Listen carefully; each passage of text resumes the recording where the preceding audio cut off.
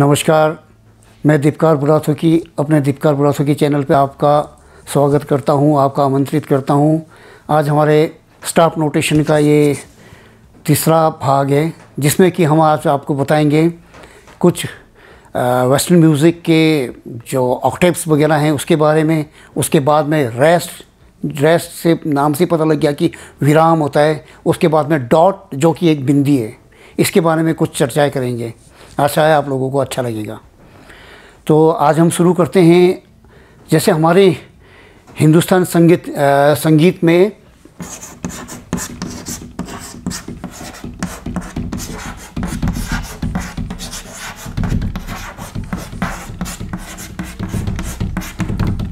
ये सारे गम पधनी सा इसको जैसे हम सप्तक बोलते हैं तो हमारे वेस्टर्न म्यूज़िक में इसको ऑक्टेप बोलते हैं। ऑक्टेप में एक, दो, तीन, चार, पाँच छः सात, आठ नोट आते हैं।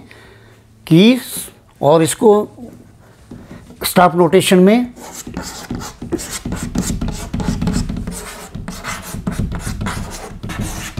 सी टू सी सी से सी बोलते हैं।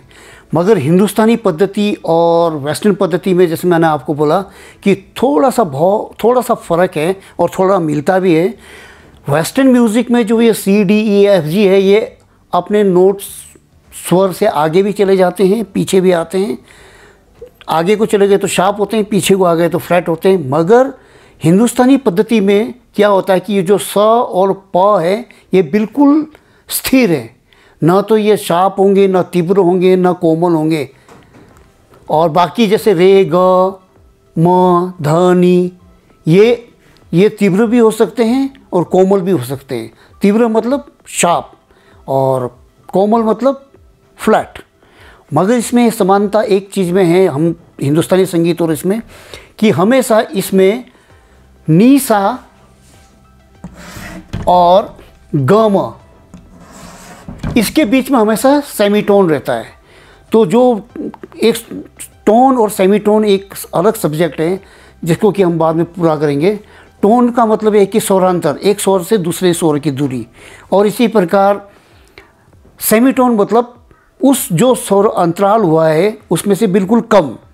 तो इसमें हमेशा ग, म और नीसा और इसी प्रकार वेस्टर्न में ई, एफ़ और बी, सी के बीच में हमेशा स्वरांतर आधा सेमी तो ये था कुछ इसके टोन्स के बारे में। अब हम चलते हैं विराम की तरफ़ रेस्ट। कि कई बार जब हम आ, कोई आ, बजा रहे होते हैं इंस्ट्रूमेंट बजा रहे होते हैं या गाना गा रहे होते हैं उसमें स्वरांतर की दूरी के बाद में कुछ ठहराव आता है विराम आता है। तो उसको हम रेस्ट बोलते हैं। तो इसमें जैसे हमने बताया था कि ये सेमी ब्रीफ ये मीनम क्रॉचिट कोयबर सेमी कोयबर ये चार चार चार चीज़ों के बारे में पहला और दूसरे टॉपिक में हमने चर्चा किया था। तो आज हम इसके रेस्ट के बारे में कर रहे हैं।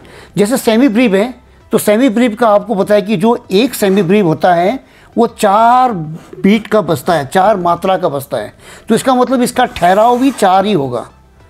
मिनम एक मिनम दो बीट में बसता है तो इसका मतलब उसका ठहराव भी दो बीट का होगा। क्रॉचिट एक बीट में एक बसता है तो इसका ठहराव भी एक होगा। कोएबर दो कोएबर एक बीट में बसते हैं तो इसका मतलब ठहराव आधा का होगा। और सेमी कोइबर आधा से भी हाफ़ का होगा। तो इसके अलग अलग किस्म से हैं। जैसे कि सेमी ब्रीफ की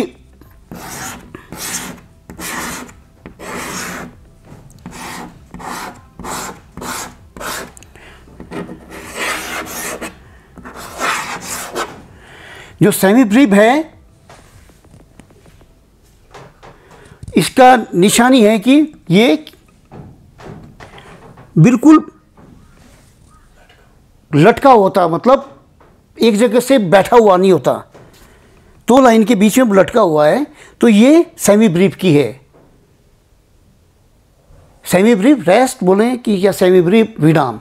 इसका इस किस्म से होगा, जैसे कि प्लेट होगा एक, दो, तीन, चार, इसकी बिटिंग होगी और रेस्ट देखिए अब आप। सुनिए। ये चल रहा है। दो, तीन, चार रेस्ट फिर प्लेड होगा।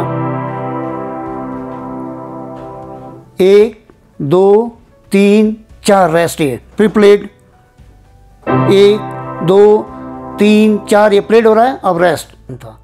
और ये आ गया मीनम। अब मीनम का इसका ठीक उल्टा होगा। जैसे देखिए आपने सेमी ब्रीफ था कि वो दो लाइनों के बीच में लटका हुआ था और जो मीनम का है, ये दो लाइन के बीच में बैठा हुआ होगा इस किस्म से। अब आपने महसूस किया होगा कि पहली बार में प्ले में उन्होंने एक बार सेमी ब्रीफ बजाया सॉरी क्षमा चाहते हैं, मीनम बताया एक मीनम बजाया उसमें जिसमें कि एक बीट में उन्होंने, एक मीनम दो बीट में किया। उसके बाद ही दो बीट उन्होंने रेस्ट किया। एक बार और देख लीजिए। Play minim minim rest minim minim rest इसी प्रकार ये मीनम, अब हम आपको क्रॉचिट की तरफ़ ले चलते हैं। ये क्रॉचिट फ़र्क क्या है? सेमी ब्रीफ अंडाकार, मीनम में लाइन लगा हुआ।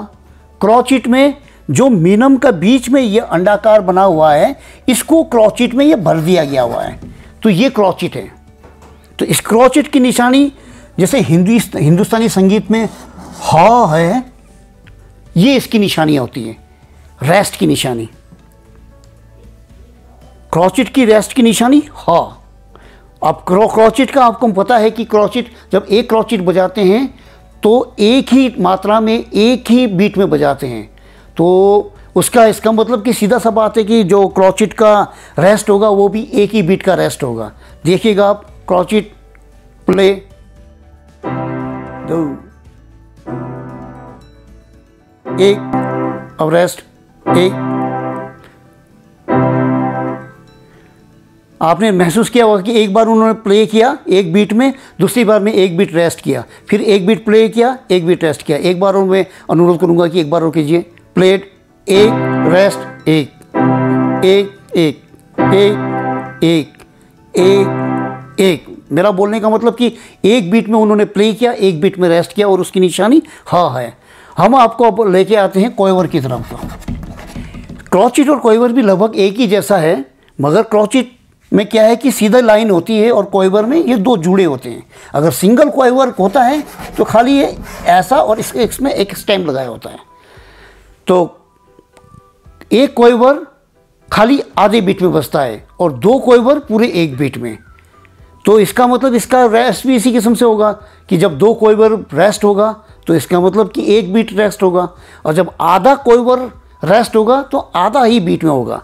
और कोयबर की निशानी इस किस्म की है। ये ह की तरह था। अगर इसी को हम थोड़ा सा ऐसा कर दें तो ये कोयबर की निशानी है। कोयबर की निशानी है कोयबर रेस्ट का। तो आप देखिए, अब हम प्ले करते हैं कोयबर हाँ ये प्ले हुआ, अब रेस्ट करेंगे। Half rest rest rest rest आपने महसूस किया होगा कि वो एक बार प्ले कर रहे हैं, जो उठती बीट में आ रहा है, वो रेस्ट का निशानी है। रेस्ट कर रहे थे मतलब रेस्ट मतलब विराम कर रहे थे। इसी प्रकार कोयबर और सेमी कोयबर में फ़र्क देखिए कि कोयबर में खाली दो, एक लाइन है सेमी कोयबर में यहाँ पर दो लाइनें हैं। तो सेमी कोयबर का भी इसका मतलब वैसा ही होगा। जैसे ये कोयबर का था, इसमें खाली एक स्टैंप लगा हुआ है। तो सेमी कोयबर में दो स्टैम्प होते हैं तो इसमें भी ये दो स्टैंप लग जाएगा। जब दो स्टैम्प मतलब ए लाइन सा लग गया तो इसका मतलब ये सेमी कोयबर रेस्ट होगा। तो सेमी कोयबर आपको पता है कि एक बीट में चार सेमी कोयबर बसते हैं। तो हाफ़ आधे बीट में दो दो सेमी कोयबर बजेंगे तो देखिए सेमी कोयबर का।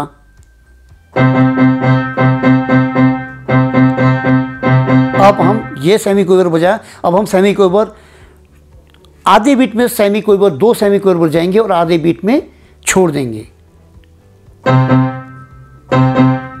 एक, दो, एक एक आप महसूस कर रहे होंगे कि जब मेरा हाथ नीचे को जा रहा है, वो प्ले कर रहे हैं और जब मेरा हाथ ये ऊपर को आ रहा है तो वो रेस्ट कर रही है। एक बार और प्ले कीजिए। रेस्ट रेस्ट रेस्ट रेस्ट इसका मतलब मैं जो बोल रहा हूँ कि रेस्ट सेमी कोईबर का रेस्ट का था वो। जो मेरा हाथ ऊपर को आ रहा था, वो सेमी कोईबर रेस्ट था। अब हम चलते हैं डॉट की तरफ़।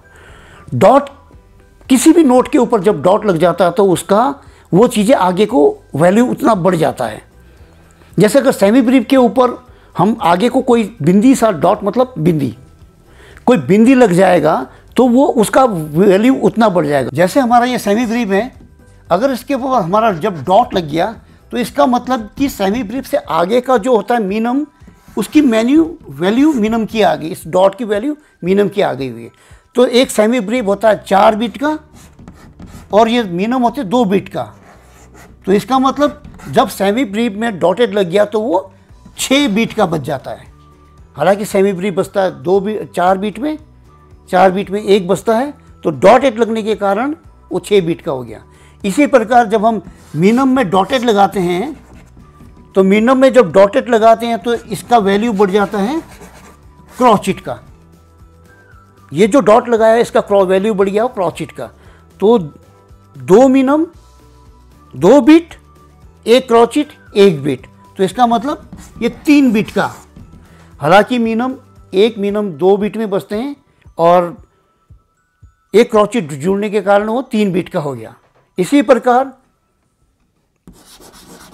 क्रॉचिट में अगर एक बिट जुड़ जाए, एक, सॉरी क्रॉचिट में अगर एक बिंदी लग जाए तो उसका आगे का वैल्यू कॉयवर का बढ़ जाता है।